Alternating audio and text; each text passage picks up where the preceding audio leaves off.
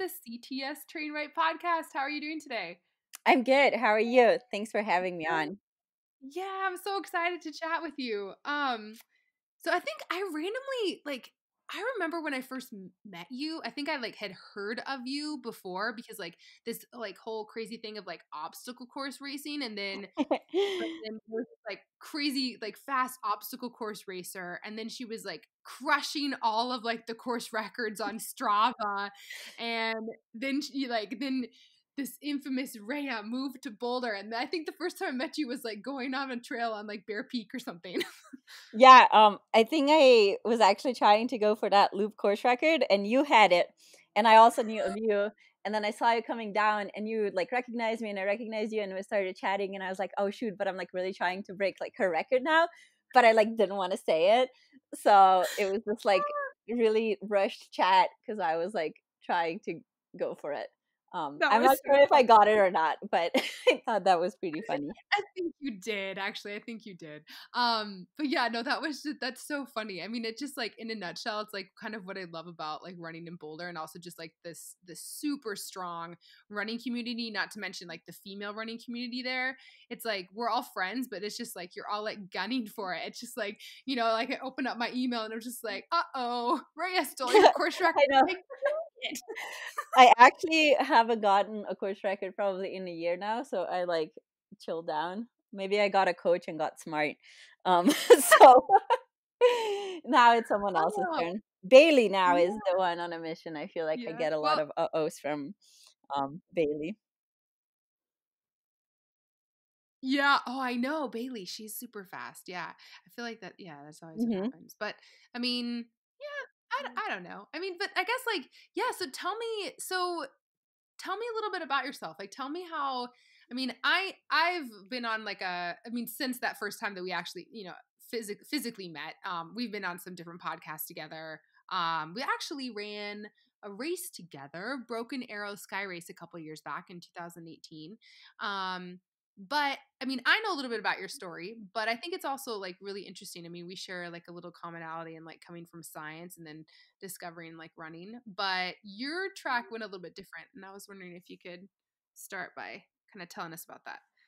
Yeah, um, I actually grew up as a gymnast. So growing up, I never really ran further than like I think 25 yards, which is the length of the vault run out.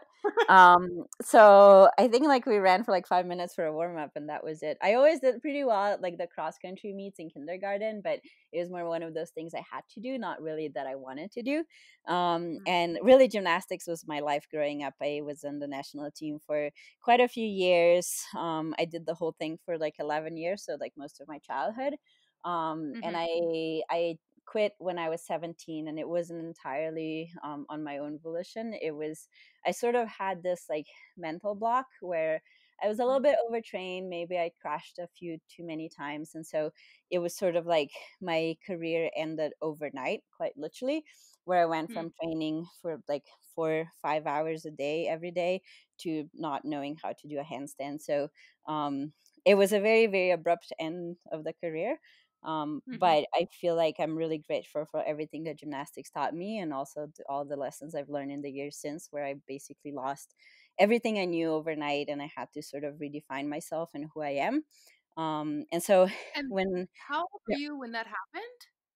um, i was 17 so Okay. So I mean, that's still a pretty like that's still a pretty young like a young person. It has to like figure out like you're basically destined on this track of like okay, like I'm going to be I mean, were you like on the Olympic track for gymnastics? yeah um, it actually all happened like a week before olympic trials for beijing um, and it was one of those things that if i like if everything happened like a week later my life would probably have been very different. Um, Wow. but those are the things you can't really control and so that was actually kind of like it's usually sort of towards the end of gymnastics career really because um, it tends to be like a little bit on the younger side.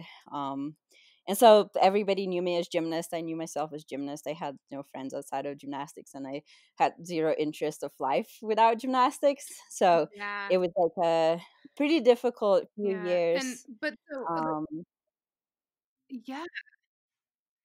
And and what like what was it that like made you so it was a fall, I'm assuming. It was like it was like a it was like yeah it was a series of falls basically um about a year prior um there was like a kids club that was playing around in the gym and there was uh, one kid on the landing side of vault and i crashed and so when that happened i feel like something in my brain flipped and i kept like Yeah. seeing kids on landing sites when they weren't and so i kept crashing and um, i was too stubborn to basically quit and i feel like it was almost it was almost my brain protecting my body because I wouldn't.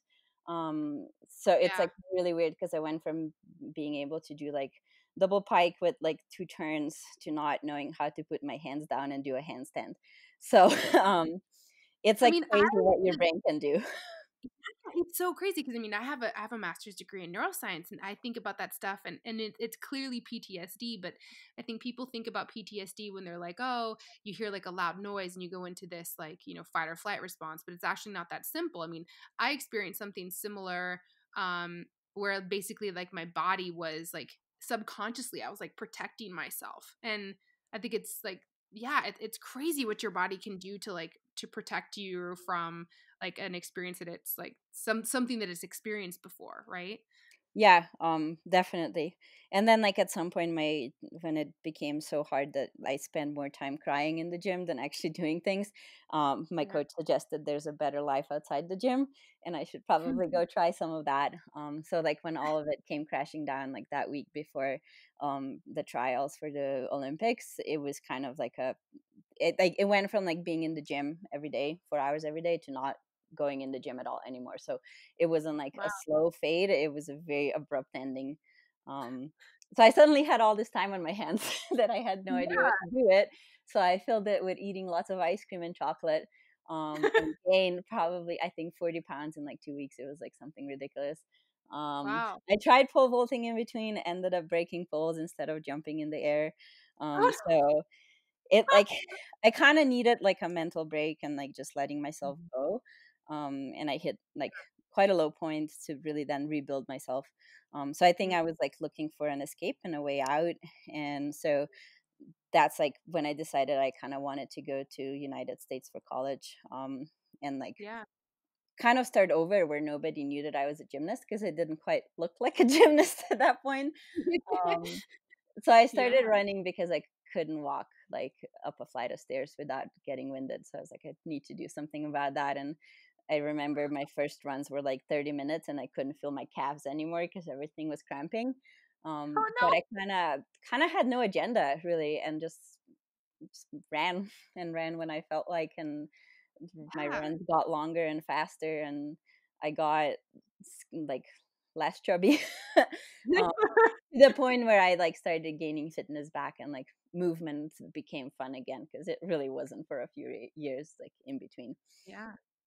Yeah. And so then like where so obviously I mean the competitiveness of, you know, like being being a young athlete and and being that driven so young for so many years and then kind of rediscovering sport again, was it like you you obviously could enjoy it for for like you know once it got more normal but when did it kind of transition into you wanted to do it more like for competitions Um, I think it took about two years of like running before I actually did a race again.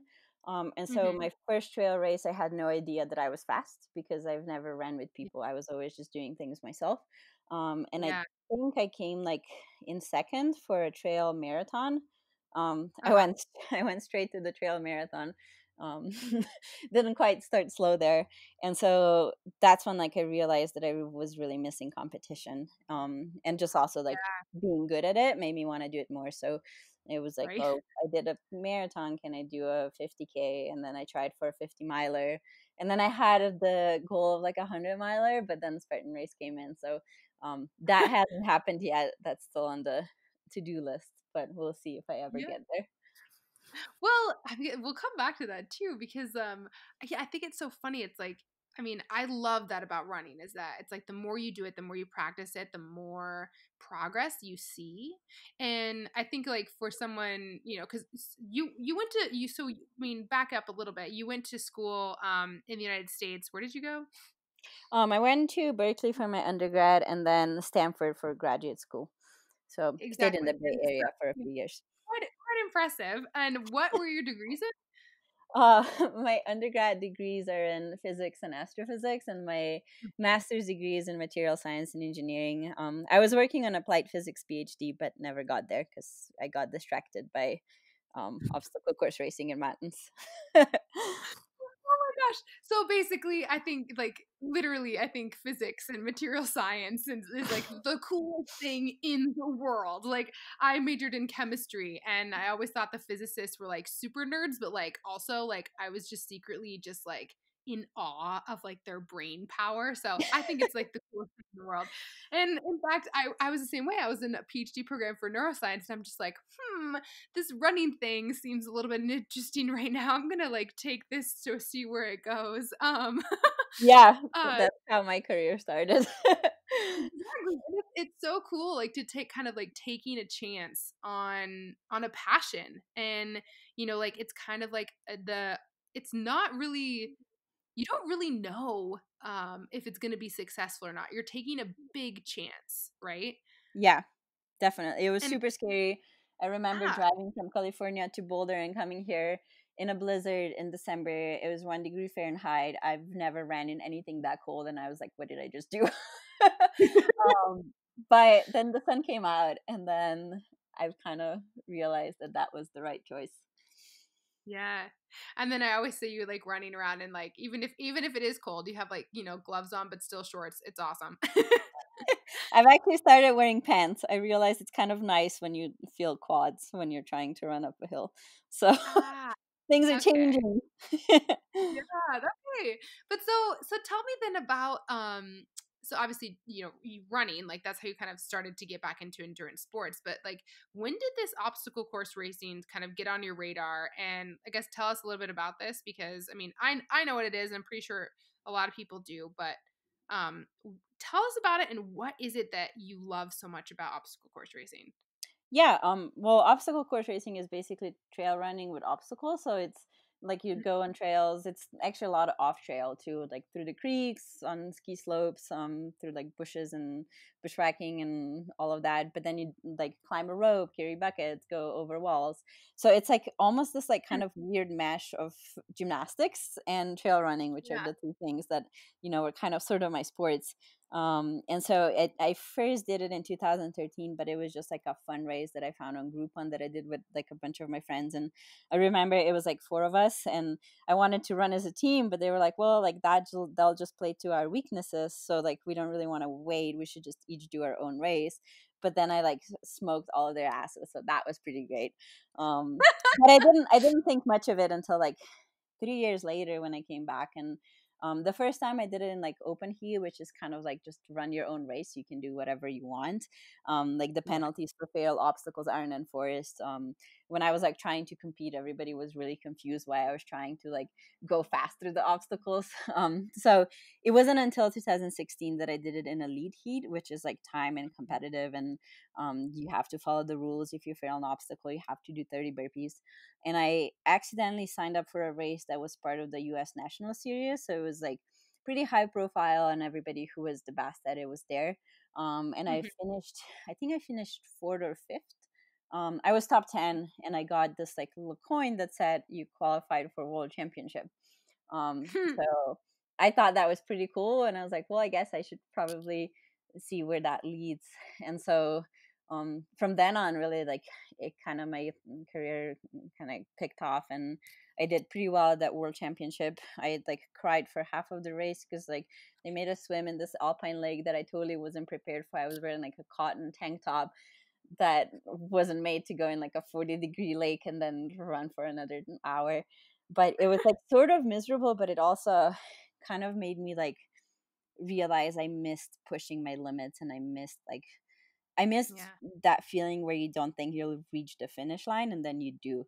And so i think that's mm-hmm. still what draws me to these races is that even though you know what to train for and like you can do pull-ups all day long you might come to a race and it's like it's like 30 degrees with wind chill below freezing and it's pouring rain and yeah you could do monkey bars on a nice and sunny day but can you do that can you do them when you're like half hypothermic um hmm. so it's like it's just like the unpredictable situations very much type 2 fun um mm-hmm. that's kind of like the appeal of it which is kind of why i'm more drawn to like different adventures now as well um just Yeah. looking for kind of that challenge all over again And so I, I love that because I think that that I mean that's something I love about running too is that um you know you can go out in any certain condition and that's why I'm drawn myself to like the longer races because it's kind of like problem solving and you have to kind of figure out a way where you know things don't go perfectly and you have to figure out a way to problem solve your way through them. But but the reason why I love it is because I feel like it teaches me so much about myself.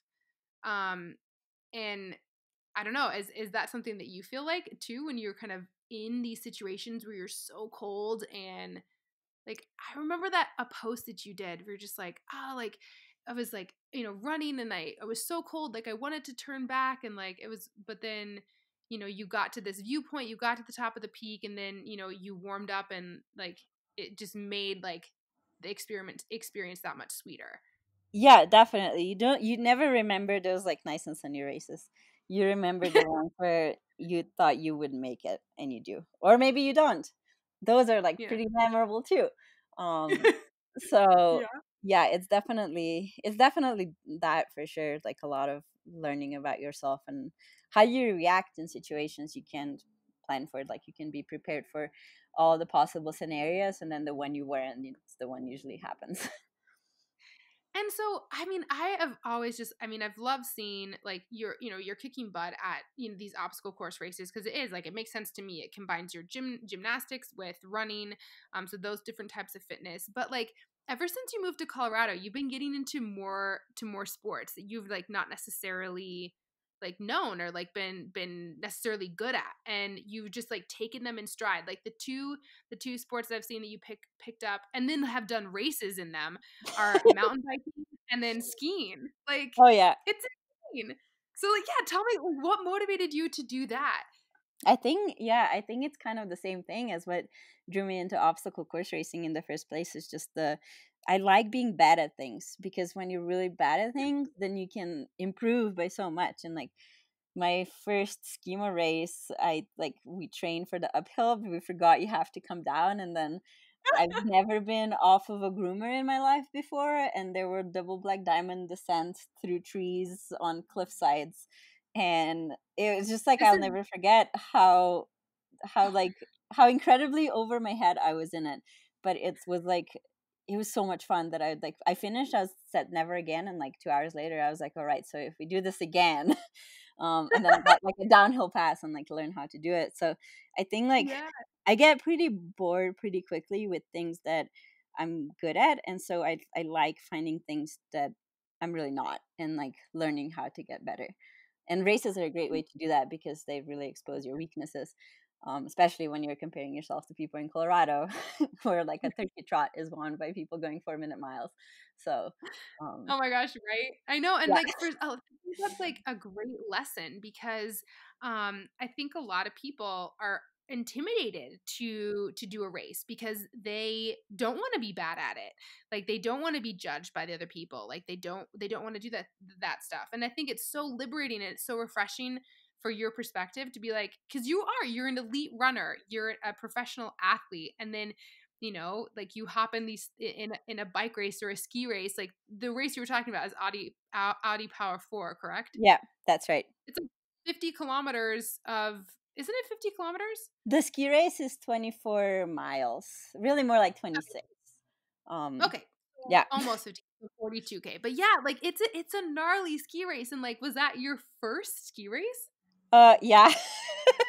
it wasn't probably the best one to choose, or maybe it was the best one because it really made me realize that it's like super fun. Um, and that was like I, before then, I really thought that I loved racing because I loved the feeling of winning and I love the feeling of you know, um, being the best. But that race kind of taught me that I just love the feeling of trying something new too. Like I was just as Mhm. happy crossing that finish line as I was when I won like world championship. So it I really realized it like there's something else that drives me and then I've kind of been searching for that and following that in like kind of doing a combination, a little bit of both, a little bit of things that you're good at and then a little bit of things that you really suck at. Oh man, that's such a refreshing perspective. And I actually wanted to ask you because um like I mean I I, I saw this this post on on your Instagram about this ski race that you did in Montana. Yeah. Oh, that was great. Um, so I was driving my van over to California to go to a Spartan race that got canceled, and I was around Breckenridge where I got that memo, and I knew that there was this like really cool epic ski race up at Big Sky. Um, so I was like, oh, I'll like I guess like Breckenridge is kind of where the road splits, so I'll just go to Montana. Um, so I drove up to Montana. I was looking at the mandatory gear li- gear list on Thursday driving up, and I realized I don't have crampons, and I was like, "Shoot, we need crampons for that." um, got crampons on the way, and like I got to the ski resort on Friday, and Friday was like a beautiful day, and I just like looked at those cliffs and like, what am I doing? And then oh at the pre-race meeting, they were like going over the course, and I remember the guy was saying, "Well."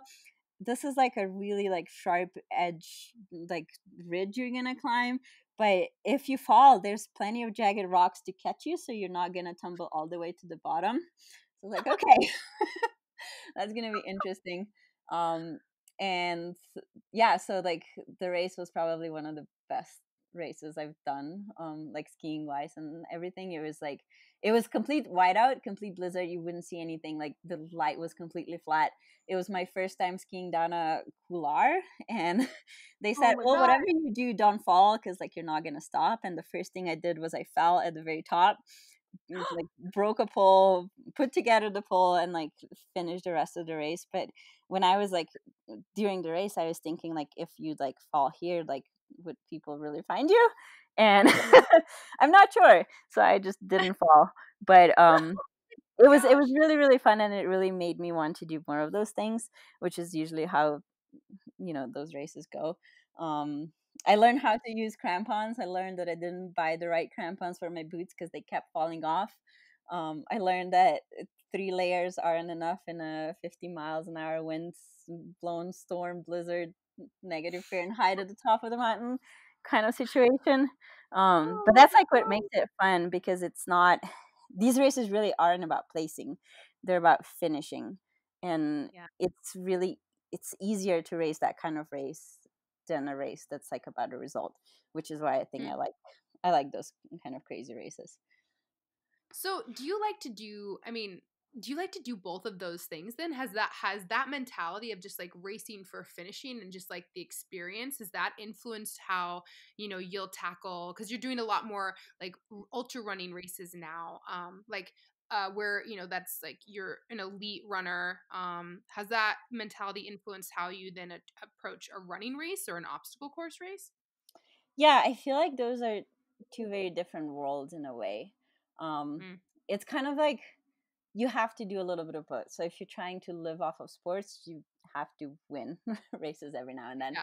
Um, so it's sort of a it's sort of a really a balancing act between um, doing races that you know that you're good at that are going to give you you know exposure but you just i still enjoy those races they're just they're just more of a more of a race and the other things are more of an adventure if that yeah. makes any sense yeah, it does make sense. And so, I mean, I still want to talk about this other like adventure race that you did. Um, but I also I just have a question because like you said at the very like beginning of this that maybe you haven't gotten many like as many course records like anymore. But um I feel like how I love to train is, I mean, obviously, like we we are we're training our butts off, like we do workouts and stuff like this. But one of my favorite ways to train is just to adventure, just to like get out and like do long days in the mountains and like that makes you fit um but like do you do you think now that you kind of have that more of an approach to training yeah um i feel like i've definitely gotten slower running um i i look back like i think when i moved here all of my runs were like sub seven minute miles and yeah. if they weren't i was like i was slow today now I'm like, oh, today was like under eight. Sheesh. Like I was like so fast. So it definitely like my running speed, like my training running speed has gone down. it's actually been a Mhm. quite a long while since I actually like did a fast running race. So I'm not sure. Maybe maybe I'm still as fast, but in training it doesn't seem like it. But if I just look at you know the overall athlete that I've become, I feel like I'm like the skills that I've gained and everything. I've definitely grown. So um, it's just like Yeah. sort of a different focus. So like you know last year this time I didn't know how to mountain bike. I didn't know how to really ski off piste. I didn't know how to um, like a lot of the things that I know now how to do. I wasn't able to do back then. Um, and I definitely have a lot more endurance. I can go like for like an eight hour day, and it doesn't phase me. Um, so it's just I feel like the Colorado kind of took my sports career more in the adventure direction away from like Mhm. the speed um and i really like that i think i find more joy in adventure than i do in trying to go really fast up a hill oh man, I completely agree. And I think, oh man, it's just, it's so inspiring because I think I think what what that does is like giving yourself permission to kind of adventure and and and play. You can discover so many different skills and like just like this whole nother world. Um, like I picked up gravel uh, gravel bikes and gravel racing and like it's so cool how far you can go on a on a bike and then you can just like link these adventures and just it's like a a whole new way to explore the world of sport outside of just like sticking to certain splits and like times and things like that. yeah Um, exactly but I wanted to talk about this adventure race that you did. yeah Speaking that, of adventure, yeah um that was really really fun. So last year in september i did um eco challenge. So eco challenge was around i think like in the early 2000s um and they just brought it back. So i think it was on a 17 year break um and it came back to the place where it last was which was in fiji um and so when i was little i was Mm. watching the like eco challenge and adventure races on tv and i was like wow like if only i could do that one day and i never thought it would happen so i got invited on a team um, of two really experienced adventure racers that have actually been in fiji when it was last there and then my friend ryan atkins who's also a really really good ocr racer and like an overall athlete um, so I was just really honored to be invited, and I don't think he even finished um, his sentence when I already agreed to be on the team, just because I knew about it. I knew about the race already, and I was thinking of applying and like you know creating a team, but it was just way too daunting of an experience. Um, so I was like, okay, maybe some other time, and I really didn't expect that to happen last year. Um, Mm. so that actually kind of got me into mountain biking because I was like, wow, there's going to be a lot of mountain biking. I need to learn um, how to do it. Um, Hmm. So like I'm really grateful to have discovered another sport that I love now. But it was a it was a 700 kilometer or more than that journey across Fiji, and it was all self propelled. So we we paddled, we like we were on a variety of different vessels, um, from like their traditional sailboats to like canoes and um, just like things we made out of bamboo that were semi floatable. Um, and then we did a lot of tracking. It was all like there's no course. Um, you just have like a compass and a map and checkpoints. So you kind of have to find checkpoint to checkpoint. Um, and the the race never stops. So the cutoff was 12 days. Um, we finished a few days before then. Unfortunately, we're not allowed to like talk about the outcomes of um of the race or anything. But Mhm. um, it was probably the hardest thing that I've ever done.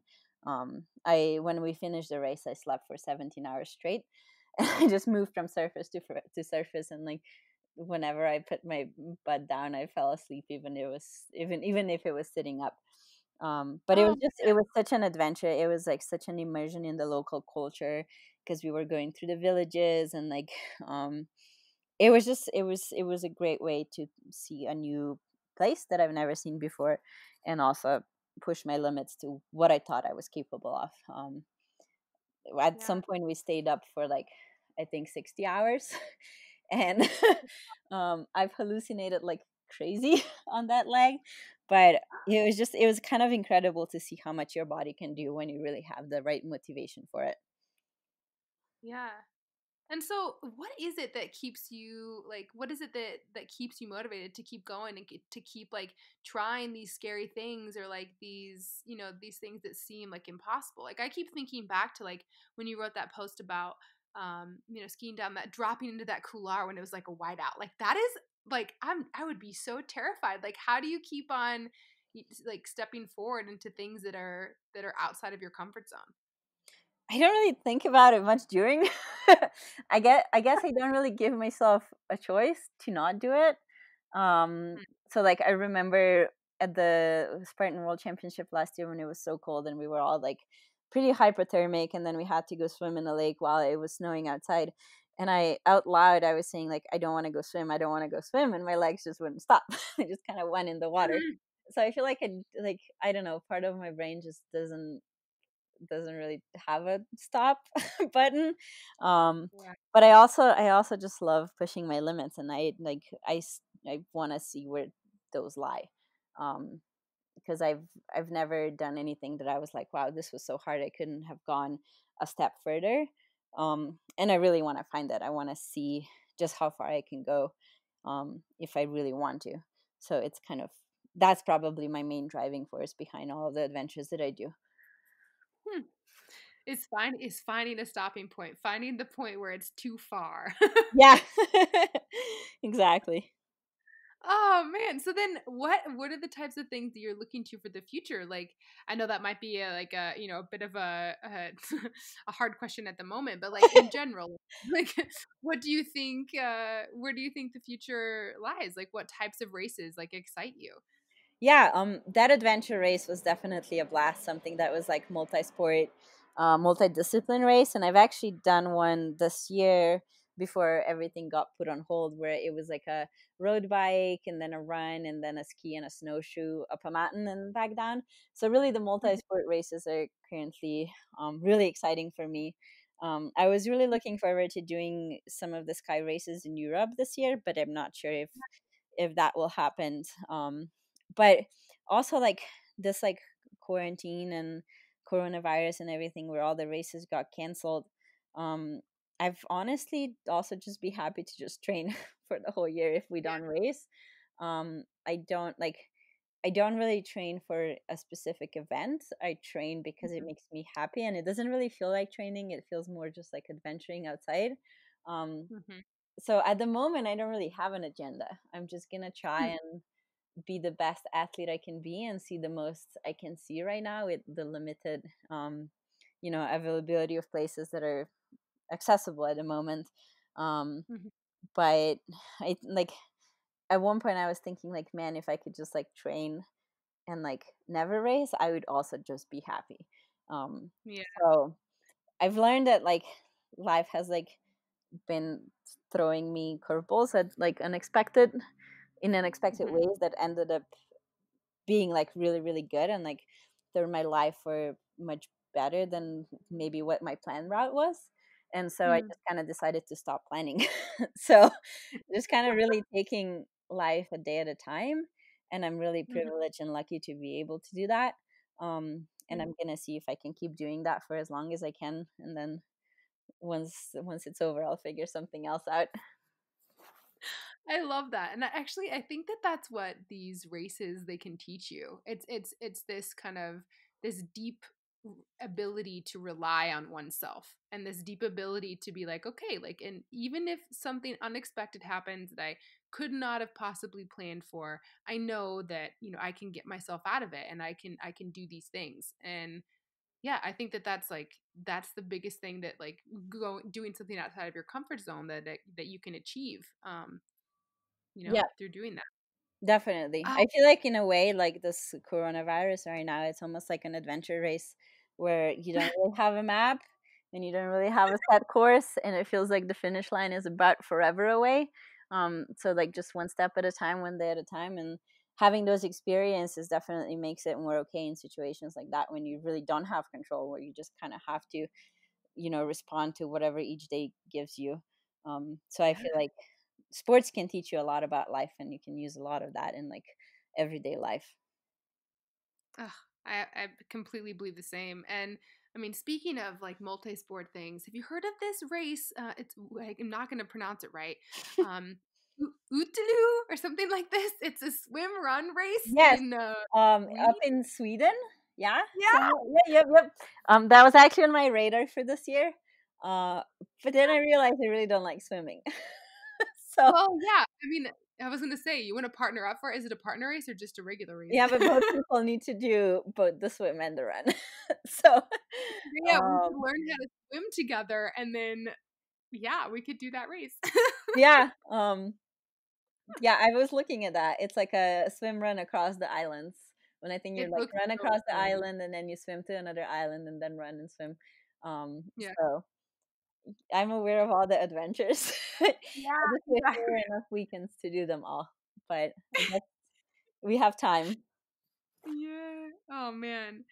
Well, I mean, I think I think that you're just such a like you're just such a joy to talk to, and we can learn. I feel like we can just learn so much from you, just like your approach to racing and like, um, yeah, like I just think it's just it's impressive of like what you can learn about yourself by like pushing yourself headfirst into tough situations and yeah i just think that like what you do uh, from on a daily basis from training and like what you represent on like you know doing races that you know you know that you're not you're not like very good at it even being an elite athlete like i think that that's something that we can all we can all learn from. Yeah i guess when you're in colorado you always have the excuse well everybody else in the race was a pro. So you know like it's like when i feel like I feel like it feels okay to be beat by people who are better than you. Um, and yeah. it, it's sort of inspiring to, you know, be eight hours behind. Like my time was like, I think in the ski race, six hours, and the one in Montana and the winning was like four hours. Um, and it's like, yeah. it's amazing because you're like, where did, where did they gain all that time? And so then searching for those opportunities to get faster, no matter what you do, is like it's fun. It's like motivating. Yeah, right. Well, so I guess to end, um, what is your advice to someone who, you know, is either like stuck in a rut or like they're, you know, they're they're scared to try something new. Like what would you say to them to kind of get them to to try something outside of their comfort zone? Um I guess what I what I tell myself is like at the end of the day, nobody really cares about the results. Like nobody will remember if you're last. You won't remember. Well, you maybe will remember if you're last, but I think you remember it more in the lessons that you've learned, not really the place that you ended up in. Um, and I feel like no matter what you do, no matter how wrong the race goes, you can always find something that you did right. Um, and I feel like that's like that's what gives life meaning. Um, doing all these things that you thought you couldn't do and you did um, no matter where you finish. Yeah. Oh man i love that. Well um it was such a pleasure talking to you today Rea. thank you so much for taking the time. Of course thank you for having me. Yeah and good luck on all your your adventures and um i'm excited to see what you're gonna get up to get into this year. Yeah um i guess we'll see you once we're allowed to actually go places again. yeah, but now's the time to dream. Well, but thanks so much. It was such a pleasure. Likewise. Have fun, Hillary.